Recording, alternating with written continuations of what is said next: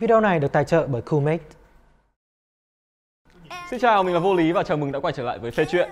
Chúng ta đã đi qua phần đầu tiên, tên đề của đại chiến giữa các màu sắc. Ngoài màu xanh ra, chúng ta đã có màu đỏ và màu vàng. Bên cạnh đó là sự xuất hiện đột ngột của màu xanh dương hy vọng. Vậy sắp tới chúng ta sẽ có gì? Vâng, thưa các bạn, sau đây sẽ là một câu chuyện cực kỳ thú vị vì các ngôi sao có đường cong hoàn mỹ, ánh hồng của tình yêu. Star Sapphire of Love.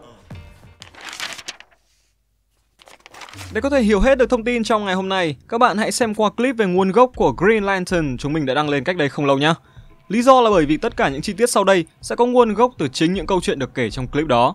Link của clip chúng mình sẽ để trong phần bình luận và phần mô tả để các bạn có thể tiện theo dõi nhé. Ok, không để các bạn chờ lâu hơn nữa, sau đây sẽ là nguồn gốc của màu hồng tình yêu.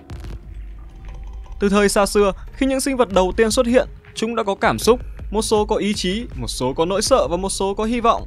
Những cảm xúc này đổ đầy cho một nguồn năng lượng khổng lồ mang tên quang phổ cảm xúc, Emotional Spectrum. Đây là nơi các Guardians of the Universe đã khai thác màu xanh để là ý chí ra chiến đấu với kẻ thù. Đây cũng chính là nơi Atroxitus lôi về màu đỏ để trở thành Red Lantern đầu tiên. Vậy còn tình yêu, màu hồng thì sao? Trong mắt các Guardians of the Universe, cảm xúc sẽ che mờ đôi mắt của họ khi đưa ra quyết định. Vì thế họ đã tự loại bỏ cảm xúc trong mình để tập trung hoàn toàn cho logic. Cùng là các bô lão của hành tinh Montus, nhưng không đồng tình với cách loại bỏ cảm xúc của các Guardians of the Universe, hội chị em của hành tinh đã rời bỏ Montes và đi tìm nguồn năng lượng khác.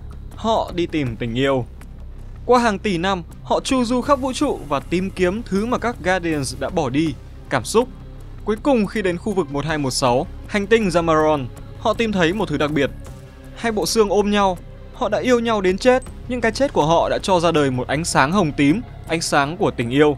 Từ đây, những người phụ nữ này đã trở thành tộc người Zamaron, đưa tình yêu của họ đi thí nghiệm lên những vật chủ khác nhau để khám phá sức mạnh của quang phổ tình yêu. Lựa chọn đầu tiên của họ là Carol Ferris, người yêu cũ của Hal Jordan. Thí nghiệm của các Zamaron rất đơn giản, họ coi tình yêu là sự bảo tồn. Họ sẽ tạo ra một nữ hoàng của khu vực nào đó bằng viên pha lê Star Sapphire. Người đó sẽ giao hợp với một Green Lantern và phóng tỏa sức mạnh khổng lồ. Sức mạnh ấy sẽ giết chết Green Lantern nhưng sẽ biến cả thế giới đó thành pha lê.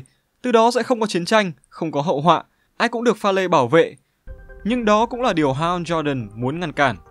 Được Hal Jordan giác ngộ về giá trị thật của tình yêu, các Zemeron tha cho Hal và Carol Ferris rồi trở lại hành tinh Zemeron. Ở đây họ đã biến viên pha lê Star Sapphire thành một chiếc nhẫn, nạp nó vào pin trung tâm và bắt đầu thành lập đội quân tình yêu màu hồng tím của họ. Những chiếc nhẫn đầu tiên được phóng ra vũ trụ và tìm những người phụ nữ có tình yêu sâu đậm với một ai khác để phóng đại nó lên nhờ sức mạnh của một Star Sapphire. Người đầu tiên là cô nàng Miri Ryan khi tàu vũ trụ của cô bị tấn công và người tình của cô qua đời. Tình yêu đó đã khiến ngôi sao tím hồng tìm đến và trao cho cô quyền năng mới. Nhận lời đeo nhẫn, cô bị hóa thành một khối pha lê và khi phá vỡ vỏ bọc pha lê, cô trở thành một Star Sapphire. Tuy nhiên, mọi thứ không chỉ đơn giản là một đội quân mới được hình thành. Các thành viên của Star Sapphire hay đội quân tình yêu được lựa chọn không chỉ vì họ có tình yêu khổng lồ như các ý chí khổng lồ của đội quân xanh lá. Những người có tình yêu khổng lồ dễ có những lỗ hổng trong tim khi tình yêu bị tước đi hay họ quá thiếu thốn tình yêu. Những người này sẽ được Star Sapphire tìm đến và biến họ thành những chiếc kén pha lê. Trong kén pha lê, trái tim của họ sẽ bị đổ đầy tình yêu, khiến họ thay đổi về tinh thần và một phần thể chất. Trong mắt các Zameron, hành động này sẽ giúp cải tạo vũ trụ và đẩy lùi những cảm xúc tiêu cực khác. Nhưng trong mắt các Guardians, đây là một sự xâm phạm đặc biệt. Vì lý do này, các Guardians đã lần nữa đổi luật của Green Lanterns. Khi đối đầu với Sinestro và đội quân màu vàng, các Guardians đã đổi luật và cho phép các Green Lantern được phép giết thành viên của đội quân màu vàng, đặc biệt là kẻ thù của các Green Lanterns.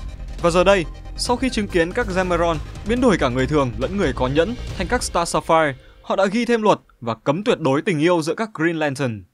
Nhưng trong hàng ngũ của các Green Lantern có đến hàng trăm, hàng vạn người và rất nhiều người đã và đang có một mối tình đẹp với một Green Lantern khác.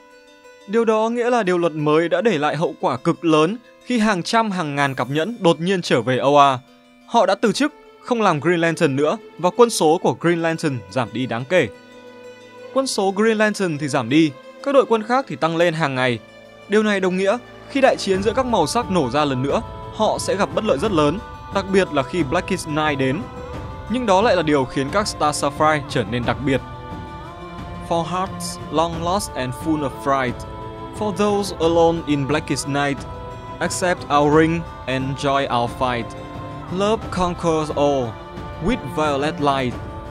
Sức mạnh của các Star Sapphire cho phép họ kết nối với tình yêu, với một chiến binh của họ, Và khi chiến binh đó gặp nguy hiểm, các Star Sapphire sẽ xuất hiện để hỗ trợ. Điều này sẽ đem lại lợi thế rất lớn trong đại chiến màu sắc sắp tới. Lợi thế cho ai thì đến đêm tối nhất chúng ta sẽ rõ. Ngoài những khả năng cơ bản như du hành vũ trụ và giải phóng năng lượng từ chiếc nhẫn, các Star Sapphire còn có thể biến đối tượng thành pha lê để kiểm soát, tạo ra các khối construct để tham gia đại chiến. Điều thú vị ở các Star Sapphire là việc gia nhập quân đội.